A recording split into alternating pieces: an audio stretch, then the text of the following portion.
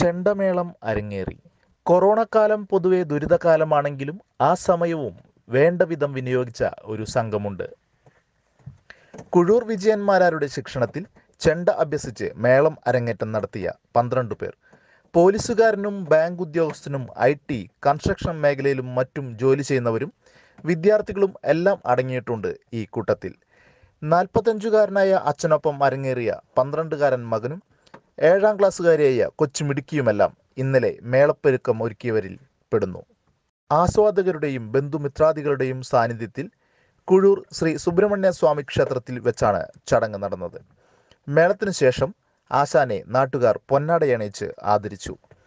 പ്രമുഖ വാദ്യകലാകാരന്മാരായ പൊയ്യ രവി കുഴൂർ രവി കൊരട്ടി സന്തോഷ് കുഴൂർ കിരൺ തുടങ്ങിയവർ മേളത്തിന് നേതൃത്വം നൽകി.